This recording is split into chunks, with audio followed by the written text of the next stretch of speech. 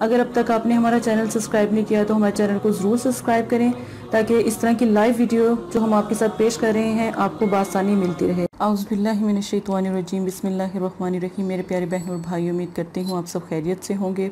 अगर अब तक आपने हमारा चैनल सब्सक्राइब नहीं किया तो हमारी जो तमाम वीडियो को देखने के लिए आपको हमारा चैनल सब्सक्राइब करना पड़ेगा। आप हमारे चैनल को सब्सक्राइब कर लें।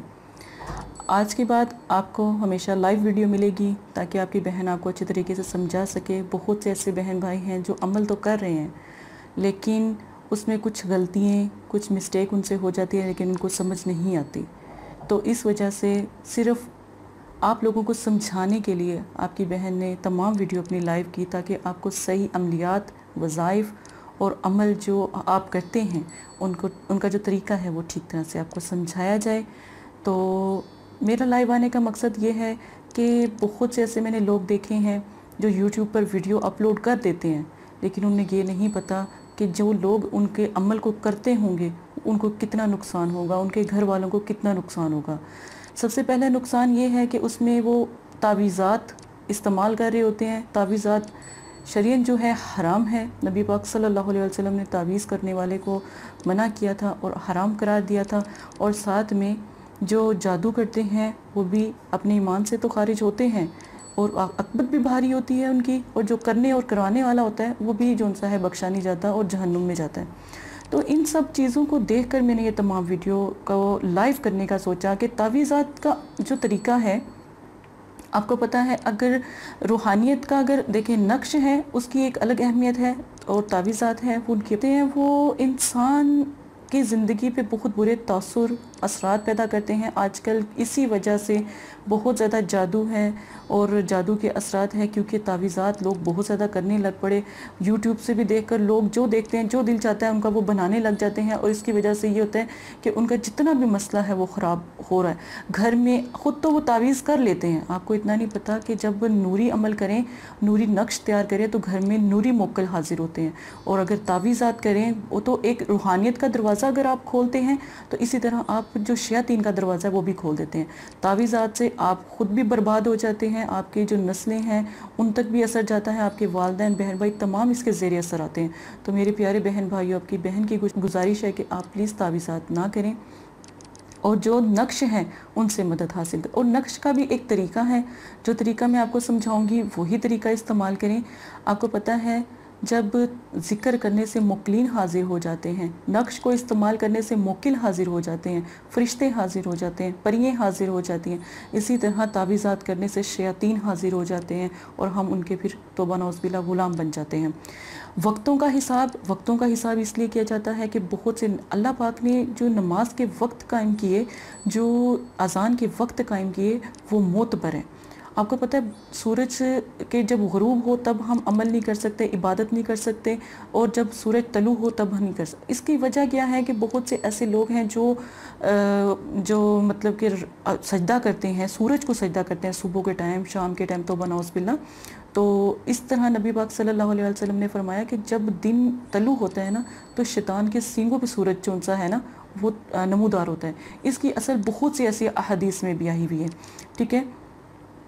तो इसी तरह लोग जो समय फिर वो शैतान जब सूरज के आगे खड़ा हो जाता है ना तो सूरज के आगे जब खड़ा होता है तो फिर लोग जब सजदा करते हैं, वो शैतान कहता है कि मुझे सजदा करते हैं। ठीक है? सजदा जब वो करते हैं तो फिर वो शैतान के पैरोकार होते हैं, फिर शैतान उनकी मदद करता है। इसकी असल ये है। अब जो तावीज़ात हैं, उनसे दूर रहें, ना कि अपने घर में भी बुरे असर आप क्यों कहते रहते हैं? आप तावीज़ात कर लेते हैं, आप उल्टे सीधे कर लेते हैं। लेकिन आपको पता है, उसका बनाने का तरीका, उसको, आपको पता है कि वो लोग तो किताबों से दे के, चीज़ों को दे के आपको समझा रहे हैं, ऐसे कर लो, ऐसे कर। मेरे प्यारे बहन भाइयों, खुदा के वास्ते ऐसे नहीं करो। जो अच्छा आमिल है, वो अल्लाह का वली होता है। अल्लाह के वलियों में शुमार होता है। अमल करना बहुत बड़ी अहमियत है। और अमल का तरीका है। सबसे मोतबर टाइम ईशा की नमाज़ के बाद दस बजे का टाइम है। ठीक है?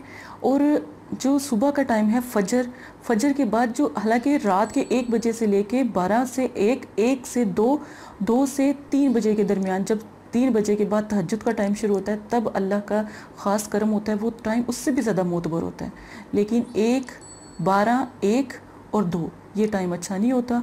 जैसे दिन में भी आप लगा लें कि 11, 12, एक और दो ये टाइम भारी होता है। फिर देखें इसके बाद अल्लाह की रहमतें शुरू होती फिर असर। असर से मगरिब के दौरान जो है टाइम ख़राब होता है। इस वक्त कोई अमल ना करें कोई वजीफ़ा ना करें क्योंकि अमल अलग अहमियत रखता है वजीफ़ा अलग अहमियत आज जो मैं आपको समझाने लगी हूँ बिसमीम से शुरू करते हैं दुनिया में। सबसे पहले अल्लाह पाक ने जब बिसमीम का पहला हरूफ तैयार किया तो हमारे कुरान पाक पे उतरा।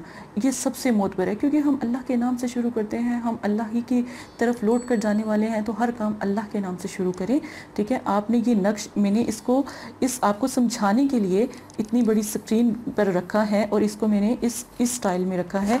इसकी जो राइट स्क्रीन है, वो आपको साथ शेयर कर दी जाएगी, जो नक्श की जो तस्वीर है, ठीक है? आपने ये नक्श बिल्कुल इस तरह बना लेना है, आपने बिसमिल्लाम बिल्कुल ऐसे ही आपने बनाना है इसके बाद आपने लिखना है यहाँ पर, जो है फ़र्स्ट में आप लिखेंगे जिब्राइल, फिर उसके बाद आप लिख, यहाँ पर जो मैंने आपको बताया हुआ है इसराइल, ठीक है? इसके बाद आप कोने पे लिखेंगे मिकाइल इसराफील खाना। ये बिल्कुल इसी तरह आप बनाएँ, इसके खाने बनाएँ। इसके बाद आप बिस्मिल्लाह से शुरू करें ताकि आपके घर में बरकतें और रहमतें हों और बिस्मिल्लाह के जो मोकिल और फरिश्ते हैं आपके घर में आपके घर में रहें और नूर और रहमत की बरकत हो। आपने पूरे चार खाने आपने बनाने हैं। ऊपर के चार, नीचे के, फिर इसके बाद चार ही लाइनें लगानी है। ठीक है? और बिसमीम के चार हरूफ हैं। वैसे अकाउंट किया जाए तो बहुत ज़्यादा है, लेकिन हम इनको चार हरूफों में डिवाइड करेंगे। फिर आपने बिसमीम लिखना है चारों खानों में, फिर उसके बाद ये चार लाइनें, चार बिस्मिल्लाह के हिसाब से पुर करेंगे। नीचे अगर आप किसी जिस मकसद के लिए आप अमल कर रहे हैं, मकसद आप सुन लें, आप किस मकसद के लिए ये अमल कर सकते हैं, जो अपना प्यारा आपका रूट कर जा चुका है और वो बहुत दूर है, या वो आपसे नाराज़ है, या किसी वजह से वो रूट गया है, आप उसके लिए ये करें। अपने प्यारों की मोहब्बत को बढ़ाने के लिए अमल कर सकते हैं। तो ये नक्श बनाकर आपने, इसके बाद आपने लिखना है फ़लाँ बिन फलां। फलां बिन फ़लाँ आलाखुब अला हुब का मतलब होता है बहुत मोहब्बत पैदा करना। किसके लिए पैदा करना? फ़लाँ बिन फ़लाँ। फ़लाँ की जगह आप अपना नाम लेंगे, फिर अपनी वालदा का नाम लेंगे, बिन आप सेंटर में रखेंगे। ठीक है, उसके बाद अला हुब लिखेंगे। अला हुब के साथ फ़लाँ बिन फ़लाँ, जिसके लिए आप अमल कर रहे हैं, और उसके बाद उसका नाम। अच्छा बहुत से ऐसे बहन भाई हैं जिनको, जिस प्यारे के लिए आप अमल कर रहे होते हैं, उसके लिए आपको उसकी वालदा का नाम नहीं पता होता। हम एक ही वालदा की पैदावार हैं तो हम अम्मा हवा लिख सकते हैं। आप ये भी लिख सकते हैं, ठीक है? उसके बाद ये तमाम नक्श जो आपने एक पेज पे बनाना है, साफ़ कागज़ के ऊपर, आपने उसके बाद ये आप इस तरह का जार आप जार मैंने इसीलिए ओपन लिया है ताकि आपको आसानी से नज़र आ सके। ये जार आपने ऐसा लेना है, जार लेना है, कोई भी आप जार ले सकते हैं, शीशे की बोतल ले सकते हैं, लेकिन वो बिल्कुल डब्बी की तरह हो। आप शीशे की बोतल भी ले सकते हैं। उसके अंदर ये जो नक्श है, ये आपने इसके अंदर ऐसे रख देना है। ये नक्श आपने इस तरह इस तरह इस जार के अंदर रख देना है। नक्श रखने के बाद आपने क्या करना है, ये एक तरीका हो गया नक्श का, ठीक है? ये मैं इधर रख रही हूँ। अब आपने कोई सा भी, ये एक्सपेंसिव है, ठीक है? अगर ये अतर नहीं मिलता, कोई भी बाज़ार से जो इस्तेमाल शुदा ना हो, वो अतर आप लें ये अतर जो सा है, आपने लेना है, ठीक है? ये मैं आपको दिखा देती हूँ। ये अतर है, बिल्कुल, ठीक है? इस अतर को आपने ओपन करना है ऐसे, ठीक है? आपने इसको ओपन करना है, ठीक है? ये अतर आपने लेना है और इस तरह बिस्मिल्लाह के जार के अंदर इस तरह इसको डाल देना है, ठीक है? ये अमल आपका मुकम्मल हुआ, ठीक है? जब इसको डाल दिया, आपने इस नक्श को इसके अंदर रखना है, ये देखें। ऊपर से आपने इसको अच्छी तरह कैप कर देना है, ठीक है? ऐसे, जो आप यूज़ करेंगे जो आप यूज़ करेंगे बोतल या फिर जार तो वो बिल्कुल ऊपर से अच्छी तरह से कैप हो जाएगा। अब बिस्मिल्लाह का जो अमल है, रात को ईशा की नमाज़ के वक़्त करें। दिन आप पीर का रखें। पीर का दिन बहुत मोतबर होता है। नबी पाक सल्लल्लाहु अलैहि वसल्लम का दिन है तो पीर वाले दिन ये आप अमल कर सकते हैं, ठीक है? ये अमल है। अच्छा तो फिर आपने क्या करना है? फिर आपने ये जो जार मैंने तैयार किया है आपके सामने, ठीक है? इस जार को आपने ले लेना है। ठीक है? आपने जार के अंदर पढ़ाई करनी है सात सौ छियासी मरतबा बिस्मिल्लाह पढ़नी है। ईशा की नमाज़ के बाद आपने जो है पढ़, अमल की जो पढ़ाई है वो उसके अंदर पढ़ के आखिर में दम करना है। अव्वल आखिर द्रूशिफ ग्यारह मरतबा है सात सौ छियासी मरतबा सेंटर में बिस्मिल्लाह पढ़कर फिर आप जार के ऊपर दम करके फिर आप इसको किसी ऊँची जगह पर रख दें। ठीक है, ये बस आपने अमल करना है। परहेज़ इसमें यह है कि आप जिस दिन आप अमल करें, उस दिन आप गोश्त का इस्तेमाल ना करें। गोश्त से जो मोकलिन होते हैं, बिस्मिल्लाह के, जो बहुत मोतबर होते हैं, ठीक है, जो हज़रत जब्राइल, इसराइल, मिकाइल, इसराफील के ताबे हैं तो वो उनको तकलीफ़ होती है आपके, जब आपके मुँह से स्मेल आ रही हो या गोश्त आपने खाया हो और गोश्त पेट में पेट में ख़राबी हो, इस वजह से फिर अमल करते हुए आपको गनूदगी भी होती है ठीक है? अमल से अल्लाह पाक जो उनसे सुकून आता बहुत से ऐसे लोग हैं जो कहते हैं कि जब हम अमल करते हैं, हमें नींद आती है तो शैतान का गलबा होता है। नहीं नहीं। अल्लाह का कलाम जब करते हैं तो अल्लाह पाक आपकी रूह को गज़ा देते हैं तो इस वजह से आपको नींद आ रही होती है। तो आप कोशिश करें कि पहले आप अपनी नींद को मुकम्मल कर लें, फिर अल्लाह का कलाम पढ़ें, फिर आप अपना ये अमल करें। जिस मकसद के लिए आप अमल कर रहे हैं, उसको अपने जहन में रखें, ठीक है? वक्त, जगह एक ही हो, आपने ये अमल तीन दिन करना है। इसकी ज़ुकातें जो है ओला अदा करें, ठीक है? जुकाते ओला तीन दिन में अगर आपका काम हो जाता है तो बस आप इधर ही स्टॉप कर दें। जार को, जो नक्श है, इसको निकाल कर आप किसी पानी में बहा दें और साथ में आप कोई मीठी चीज़ पर दम करके या कोई मीठी दस रुपये के बिस्किट भी अगर आपको मिलते हैं ना, वो भी आप अपने फैमिली में तकसीम कर दें और तोक्ल ये रखें कि आपका अमल कामयाब हो गया, आपने ये तकसीम कर दिया। ठीक है, ये कर लीजिएगा। अगर आपको, आप चाहते हैं कि ज़्यादा मोहब्बत कायम हो, ज़्यादा मोहब्बत बढ़े तो फिर सात दिन इसकी ज़ुकात अदा करें। ठीक है, सात दिन तक आप पढ़ाई करें। अगर आप चाहते हैं कि पूरी ज़िंदगी के लिए, पूरी ज़िंदगी के लिए कोई लड़ाई झगड़ा ना हो अपने प्यारे के साथ जिससे आप प्यार करते हैं जिससे आप मोहब्बत रखते हैं तो फिर इसकी ज़ुकात इक्कीस दिन तक जो ज़ुकात कबीरा है वो अदा करते हैं। ये ख़वातीन के लिए भी है, ये भाई लोगों के लिए भी है और बहनों के लिए भी है, ठीक है? आप इसी तरह। और इस अमल की इजाज़त आम है। मेरे जो सब्सक्राइबर हैं, जो मेरे जो हमारे चैनल को सब्सक्राइब कर रहे हैं और जो आने वाले सब्सक्राइबर हैं, उनको चाहिए कि आप सब्सक्राइब कर लें ताकि आपको अगर कोई बात भूल जाती है या कोई बात आपको समझ नहीं आती तो आप अपनी बहन से कमेंट्स करके आप मुझसे बात कर सकते हैं। शरीयत का लिहाज रखें। आजकल मैं बहुत सी ऐसी वीडियोस देख रही हूँ जो जिसमें ख़वातीन जो है, ना पर्दों का ख्याल रख रही है। हम नबी पाक सल्लल्लाहु अलैहि वसल्लम की उम्मत हैं।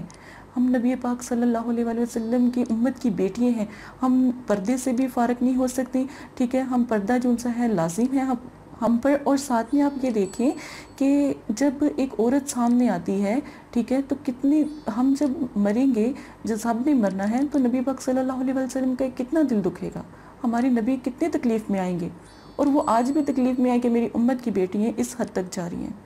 आवाज़ आवाज़ को मैं ये नहीं आवाज़ का भी पर्दा है, लेकिन कभी कभी इतनी मुश्किल हो जाती है, जैसे नबी पाक सल्लल्लाहु अलैहि वसल्लम के दौर में बीबी आयशा और जो उनसे थे, बीबी फातमा फातमा तो ज़ारा, वो लोगों को आवाज़ पर्दा करके आगे, क्योंकि समझाने के लिए सिर्फ़ वो अपनी आवाज़ लोगों तक पहुंचाते थे, ठीक है? तो ये जायज़ है, इसको हम मना नहीं कर सकते, ताकि समझा सकें, ताकि शरीयत में रहकर कोई गलत काम ना हो, अल्लाह पाक माफ़ करे और अकबत भारी ना हो।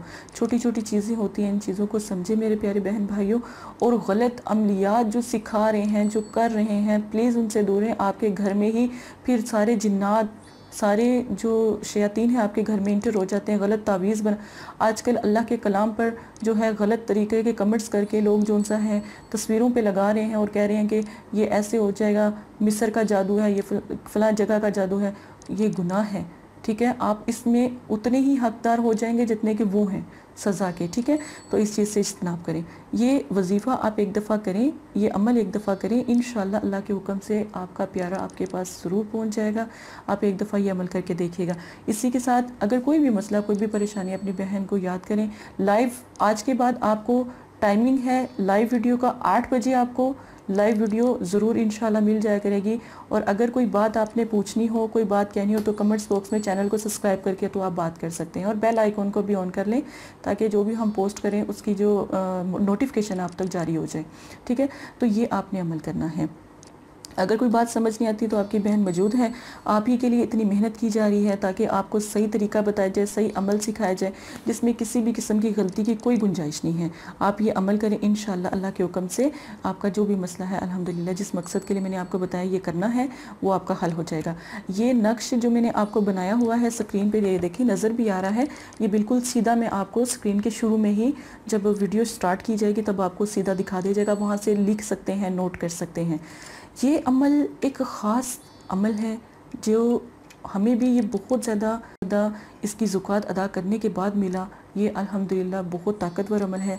इस चीज़ का ख्याल रखिएगा बेद भी ना हो, पाक वज़ू या गसल करके आप ये अमल करें। इन जो मेरे बताए हुए तरीके से आप उसमें आपको अल्हम्दुलिल्लाह आपका सारा मसला हल हो जाएगा इन जजाकल्ला खैरा